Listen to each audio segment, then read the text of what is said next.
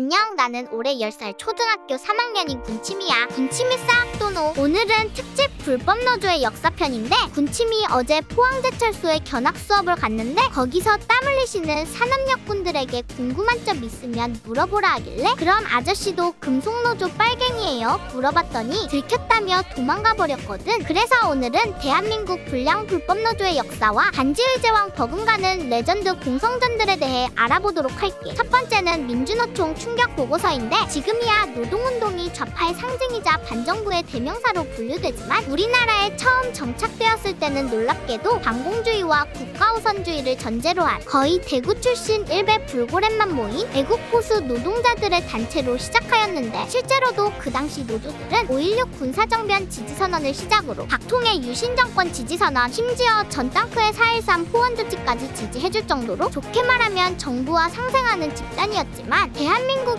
영국이라 불리는 남자 영삼위의 문민정부 시대에 당군 일에 아무도 못 말리는 개또라이가 하나 등장하게 되는데 이들이 바로 대한민국 법위에 사는 집단 민주노총의 탄생이었어.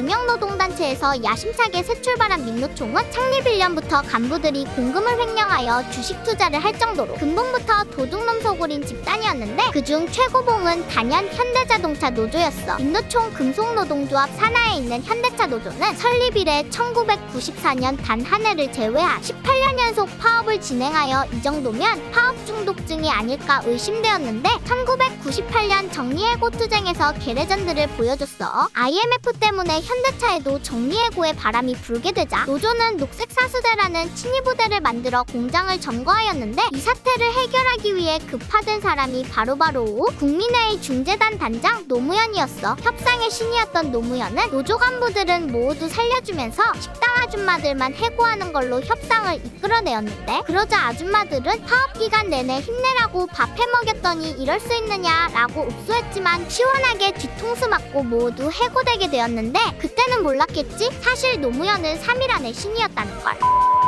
이처럼 노무현은 노조 때려잡기 특히 불법 폭력 시위하는 기가 막히게 잡았는데 문단무용 평택 시위 영상에 그 진수가 모두 담겨 있어. 상체를 공략하여 논바닥으로 가감히 쓰러뜨려버린다. 다시 말해서 공백이 생기지 않도록 다시 한번 챙겨주기 바란다.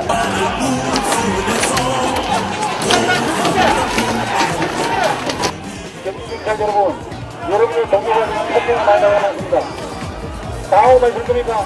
성공 영상은 그대로 바로 쳐버려 괜찮아. 모두는 내 팀입니다. 나라 국민들 먼저.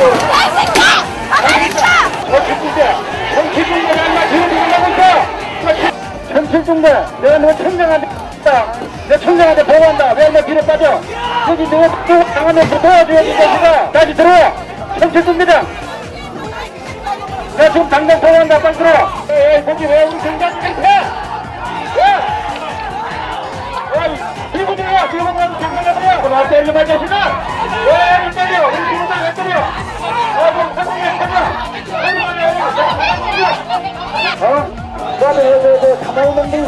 있지? 아주 작화를 내버려. 어? 절대 훈련된 능력으로 코를 내라 말이야. 왜 그들이 맞아? 너 참나무 먹네. 어이. 참나무 먹네. 너 사람 잡으러 왔나? 학군대 잘하고 있다.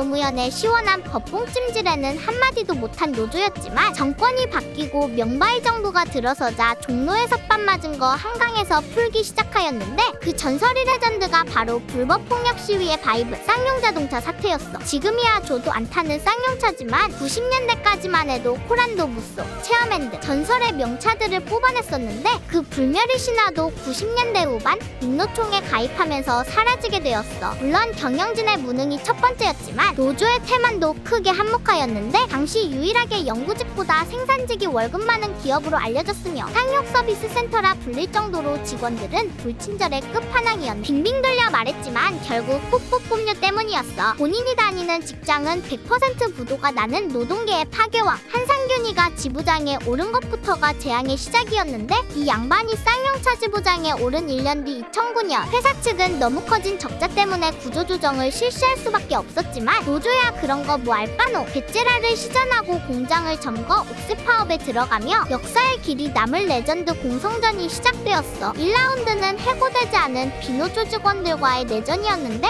그래도 어제까지 한솥밥 먹던 동료에게 해코지 하겠냐고 다가간 직원들에게 시원하게 쇠파이프를 휘두른 노조 덕분에 쌍용차 측에서도 용병을 구입해 반격에 나섰으나 협곡에서 데리고 온 마오카이 노조들이 묘목 대신 똥주머니를 던져대며 냄새나게 저항하자 사측도 파격적인 타협안을 제안하였는데 기세가 오른 노조는 즉각 거부를 선언 전설의 바바리안 휠윈드로 인화물질이 가득한 도장 라인까지 점거하면서 제2라운드가 시작되었어. 공장을 내주고 출근한 비노조 직원들은 빈 사무실과 PC방을 전전하며 신차 개발에 매진하고 있을 때도 노조는 한바탕 전쟁을 위해 신무기를 개발하고 있었어. 외부에서 잠입한 민노총 간부의 설계와 완성차 직원들의 손재주가 만나니 퀄리티가 상상 이상이었는데 노조 의 주력 무기인 볼트 새총을 시작으로 부탄가스를 추진으로 하여 볼트 30발을 한 번에 쏠 수 있는 다연발 사제총 근접전을 대비한 돌격용 방패와 화염 방사기 그리고 지게차를 이용한 충차와 전차 부대까지 와 씨발 이건 노조가 아니라 거의 스파르타 정규군 수준이라 쌍용차 측도 전면전 대신 보급로를 끊는 작전을 실행하였어 지금 빨리 해줘야 돼요. 지금 아침이면 지금 난리입니다. 국내에 똥 싸는 전쟁하고 있다고 지금. 장난이 아닙니다. 너무 끔찍했어요. 이게 변기 뚜껑마다 다 열어보는데 아. 다 이게 피라미드처럼 다 볼록볼록 올라와 있더라고요. 아, 들어가지고 혼났네. 아우. 이 작전은 정확히 맞아떨어지며 노조는 식량과 물이 바닥나 위기에 빠지게 되었는데 이때 나타난 정의의사도가 있었으니 바로 대한민국 노동운동의 아이콘 민주노동당의 강기갑 이정희 의원이었어. 민노당은 공장 밖에 텐트를 치고 사람이 죽어간다며 단식으로 노조를 응원하였는데 당연히 그 응원은 노조가 아니라 사람이 죽어간다였어. 이 악마의 듀오는 파업 중이던 노동자들이 물 좀 달래도 없다면서 안 주다가 집행부 창고에 기부받은 생수와 식량을 쌓아두고 자기들만 처먹다 무려 노조원들에게 걸리게 되었는데 그러자 맞아 죽을까봐 자신들이 폭력 경찰이라 울부짖던 경찰 응디 뒤에 숨어가지고 보호받고 있는 모습이 악마도 울고 갈 좌파의 민낯을 보여주는 상징적인 장면이었어 너네들처럼 쇼하는 게 민중의 분노가 아니야 임마 이게 진정한 민중의 분노야 어? 민중의 소리를 들어봐! 명당하지 말고! 아이씨 야, 국회에서 날아다니, 여기서 날아다니지 못하는 개새끼야! 날아다녀봐! 너네들이 안에 물이 없다고? 물 4천명 있단다! 좋아하지 말아라, 알았냐? 이렇게 외부 세력의 개입으로 파업의 명분도 잃어간 지 70여일. 정부와 사측은 최후 협상안과 철거 명령서를 들고 접근했지만 노조 측은 협상 거부와 볼트세 총으로 선 넘는 응답을 하면서 마침내 진압작전이 시작되었어. 경찰은 인화물질이 가득 찬 도장이 공장을 제외하고 주변을 포위하여 옥상을 하나씩 점령하기 시작하였는데 역시 문제는 천혜의 요새인 도장이 공장이었어. 이 공장의 지형은 4층의 높은 건물에 좁은 협곡이라 일자로 병력이 움직이다간 새총에 벌집이 되거나 그대로 화염병 이퀄라이저 5인 공각이었는데 이에 경찰은 부산 진구 유명 가수가 좋아하는 테이저건을 처음으로 실전 투입해 보았으나 인권충들의 몇번 써보지도 못하고 퇴각하는 척하다 회심의 이영호 6드랍십 빙의한 명박산성 상계드랍으로 옥상을 점령 우주의 지지를 받아내며 77일간의 긴 파업은 끝이 나게 되었어.